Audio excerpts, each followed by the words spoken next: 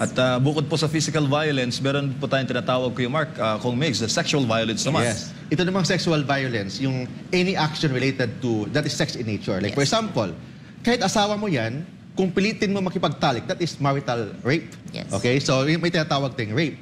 May tinatawag tayong sexual harassment. May tinatawag tayong acts of lasciviousness. Kahit girlfriend mo yan, binabastos mo, you can be liable of acts of lasciviousness. Including, for example, yung babae, ginawa mong sex object. Yes. or gin or may parang demeaning statement or sexual advances ang sinasabi mo sa babae. Parang parang binababoy mo pag verbally ang babae. For example another that is attacking the sexual organ of the girl including forcing the the girl na to watch uh, to watch pornography. That is sexual violence including forcing the girl na magstay kayo to cohabit with you of course in marriage one of the of the element of marriage is cohabitation. It it means kung mag-asawa kayo kailangan talaga kayo magsama. But that is voluntary in nature. For example nag-aaway na kayo nagsak na sinampal mo na yung asawa mo pilitin mo bang magstay sa'yo? Hindi na yan. Because otherwise that is part of sexual violence forcing the woman to live with you kahit na hindi na kayo in a good relationship. Totoo yan, no? And ah, hindi lang ah, mga ganitong aspeto ang limited sa ating Bausi Law.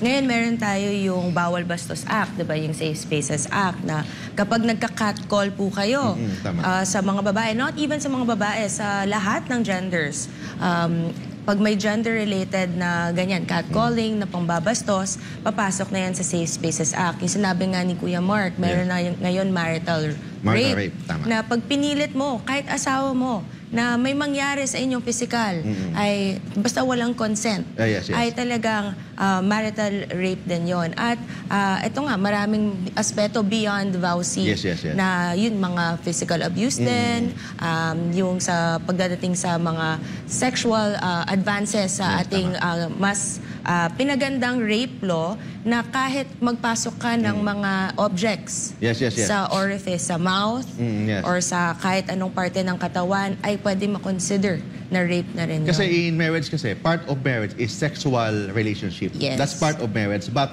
when you say sexual relationship, hindi mo pwedeng pilitin ang asawa mo na makipagtalik sa'yo. Otherwise, kung pilitin mo yan, that's marital rape. Hindi pwede na obligasyon ng asawa mo na pagbigyan ka all the time. Ang sabi kasi ng batas about cohabitation and sexual relationship ng mag-asawa, kailangan voluntary in nature. Yes. It means, kahit asawa mo yan, ligawan mo pa rin yan. Tama ba? Kahit asawa mo yan, hindi pwedeng magtapos ang courtship before, uh, after marriage. Hindi pwede ang courtship before marriage lang yan. Mm. Even after marriage. Forever ba yan? Forever ang courtship. MJ, kasal ka na ba? Hindi pa. Ay, hindi pa. Ah. Eh, hindi tayong tatlong kasal eh. So siguro, Hindi, tanungin natin. I'm talking about the Sa, history. saan, saan mo natutunan to? Nabasa ako about, uh, palagi akong nanonood ng mga love stories. ah, ganon. Sure, sure ball yan. So sure ano, so dapat ang love life para murag ano, murag pwe- telenovela. hindi pwede na ang ligawan always before marriage. Kasama kasi ang ligawan even after marriage. That's why Sana ah, all. hindi pwede na na hanggang pagkasal na tapos na. Oh. Asawa mo lang o diyan ka na lang asawa ka, hindi pwedeng ganun. Ganon. Ang courtship lifetime yun. Eh maraming ganun Kuya Mark eh. Pag kasal na, sa puwera na. Okay pala siyang ano, Ah. future husband. Pwede, No? pwede. Pwede. Ganun pala yung mga thinking, no? Actually, based sa batas yan, hindi based on my experience. akala ko I'm talking here, what is the... natin.